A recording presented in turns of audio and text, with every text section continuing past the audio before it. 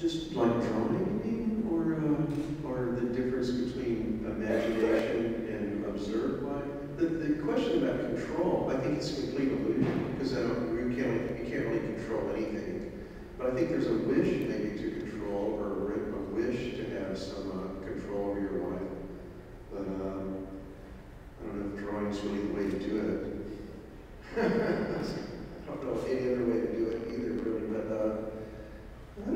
the, that mediates between me and the world. It's what I can do. There's a lot of things I cannot do, and there's a lot of things I try to do. Uh, I don't know if that's answering your question.